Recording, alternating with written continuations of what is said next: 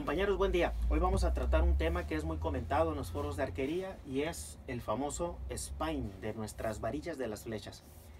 El término spine es una palabra inglesa que se refiere a la espina o a la columna de una varilla y en términos concretos es la flexión que una varilla tiene al momento de que se le aplica una fuerza. Aquí vamos a poner como ejemplo un arco, eh, eh, lógicamente generalmente se adquiere un arco, se consigue un arco, o bien preguntamos cuál arco me conviene, etcétera. Es, un tema, es un tema muy vasto. Pero supongamos que una persona compra un arco, por poner un ejemplo, de 68 pulgadas que nos da la idea de cuál es la longitud del arco de punta a punta o de, o de ranura a ranura de donde se coloca la cuerda y así como también pues la distancia o la longitud de la cuerda que este arco va a utilizar. También tiene otro cierto, y digo generalmente, no todos los arcos a veces la presentan, pero generalmente en la pala inferior de cada arco viene esta, estas indicaciones. Entonces viene también un número antecedido por el gatito, que le llamamos el, el símbolo de número. Esto significa las libras que tiene el arco la roba, que es apertura a 28. Esto significa que ese arco va a brindar 45 libras a una apertura de 28. Esto también veremos que hay una nomenclatura, sobre todo en arcos viejitos o arcos de los 70s, 80s. La organización americana o la organización de manufacturadores o fabricantes de arcos, que es una sociedad americana, ahora se le conoce como ATA, y es la, Asociación de, Arquería de Medición. Aquí también tenemos otra organización americana que es la Sociedad de Prueba de Materiales y que tienen una diferencia en una medición numérica de la flexión. La idea de este video es comentarles a ustedes tres maneras de cómo se puede hacer una apreciación de lo que es la flexión de una flecha. Sabemos nosotros muy bien, haciendo una comparación con, con balística, que hay rifles o pistolas calibre 22 y estos rifles o pistolas calibre 22 no pueden tirar ningún otro calibre, es un calibre específico.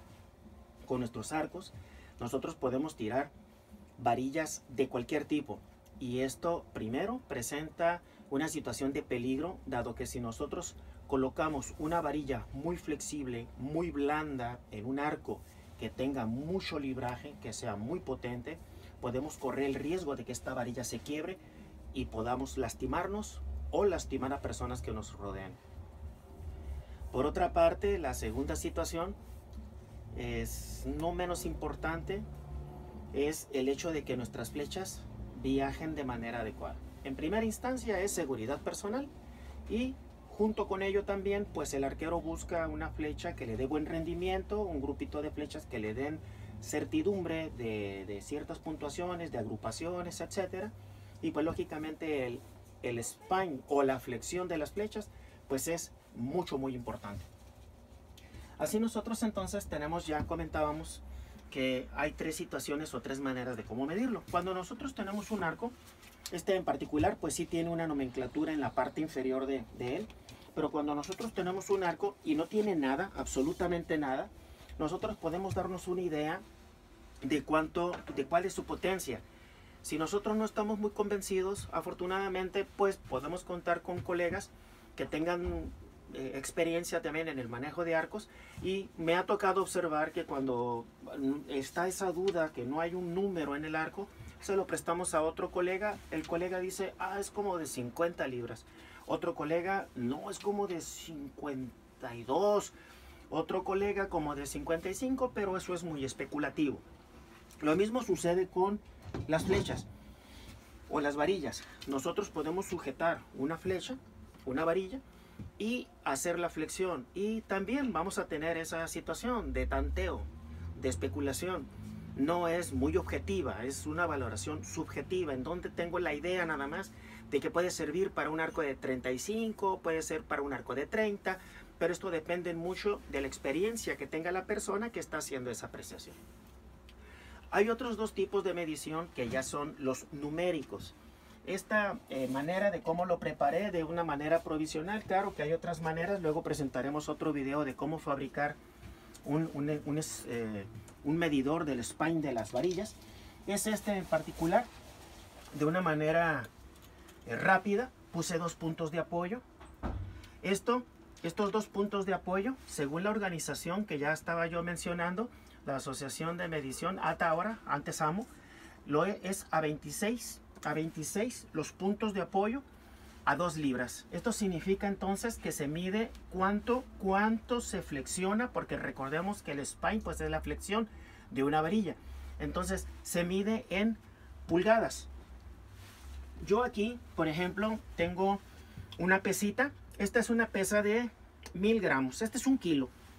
Pero como yo no estoy con la idea eh, ojo, ojo aquí es bien importante, si yo me dedicara a vender flechas, si yo fuera un profesional en esa área, sí me preocuparía y sería una responsabilidad y es una falta de seriedad muy grande el hecho de no medir el spine de las flechas porque podemos incurrir en, en, hacer que una persona utilice flechas peligrosas.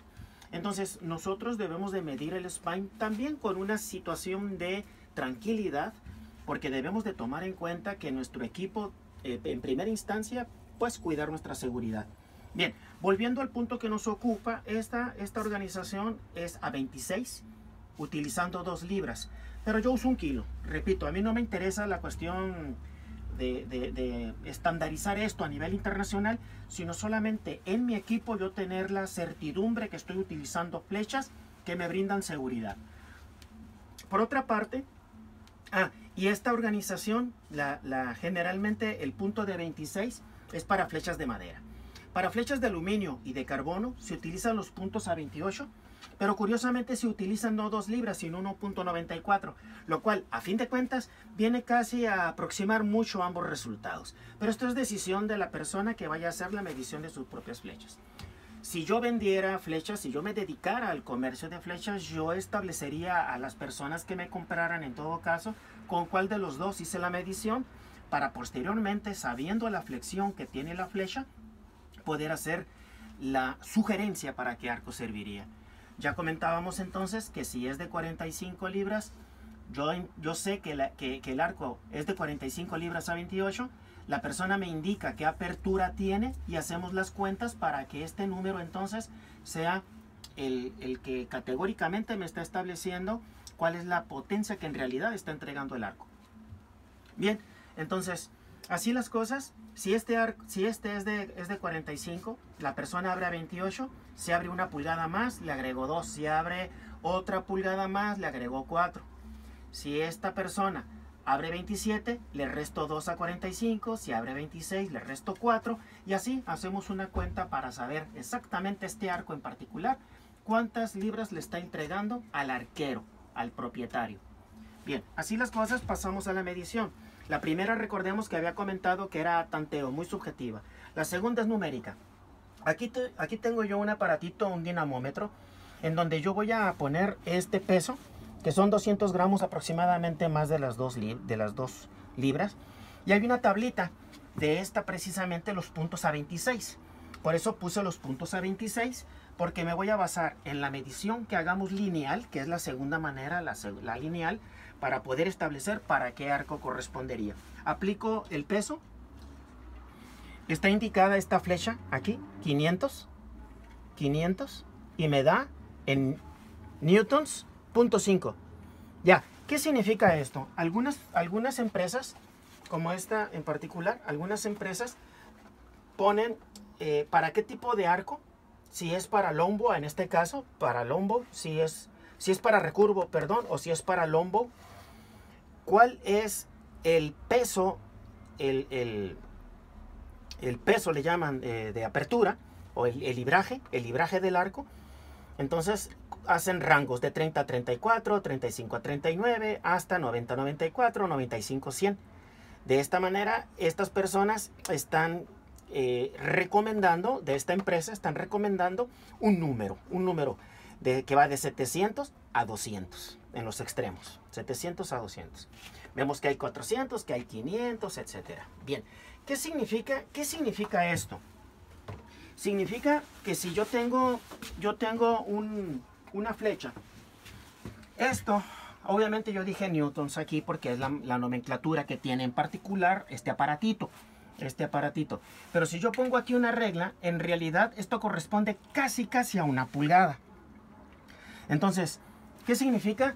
Que si yo tengo punto, punto 5, es media pulgada, entonces es 500. Si yo tengo punto 200, significa que esta, que este, esta flecha, esta flecha solamente alcanza en décimas de pulgada punto 2, pero se le coloca el 200. Bien, lo que estamos observando, si fuera 1000, si fuera 1000, como el caso de una, de una flecha que tengo aquí, una flecha muy delgadita, colocamos la flecha, el punto de apoyo, esta flecha ya es muy, es muy cortita, pero puse otro punto de apoyo, va a variar un poquito la cuestión de la medición, pero hacemos el punto, hacemos el punto de apoyo y aproximadamente es la, la pulgada. Este tipo de, de, este tipo de medición a mí en realidad no me gusta mucho, pero sí maneja una idea muy clara o más o menos clara, da cierta certidumbre de la flexión que tiene una flecha y entonces podemos nosotros tener una idea para qué arco correspondería.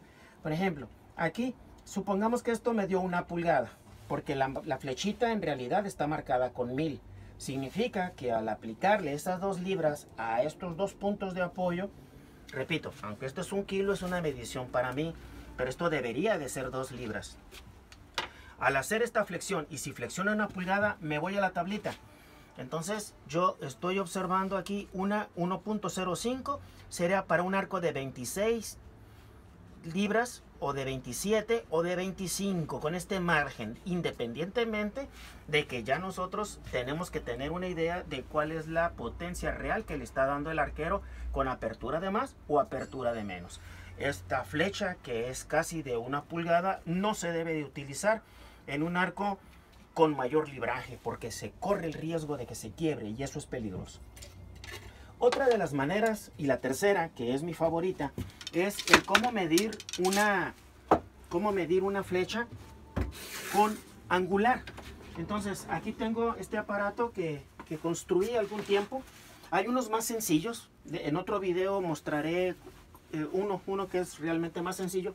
Pero este me gusta mucho porque ya ocupa un espacio en particular y la construcción es muy sencilla. Son dos puntos de apoyo. Son dos puntos de apoyo este es un palo, es un palito de, comida china. Eh, uno de unos, unos juguetitos de madera que son armables, etc.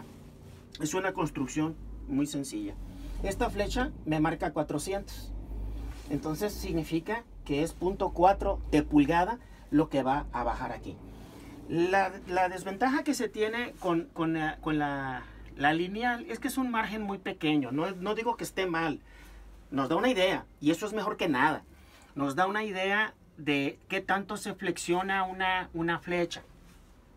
Pero esto, al convertirlo, al trasladarlo a una medición angular, nosotros veremos que una pulgada es aquí y una, una pulgada es acá. Acá está el 1000. 400 está aquí. 400 sería centímetro y medio, casi. En fin, ahí disculpen la ahorita la cuestión, se me fue el rollito ahorita ahí con la cuestión proporcional de las medidas, pero aquí será una distancia muy corta comparada con esta, lo cual me da un mejor margen, una mejor apreciación.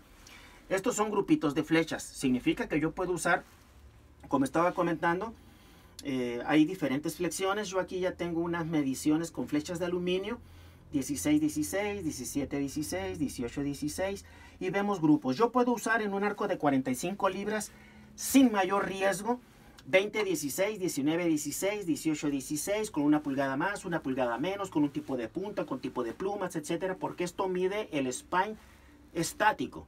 Ya cuestiones de punta, eh, plumas, etcétera, es, es, es otro asunto.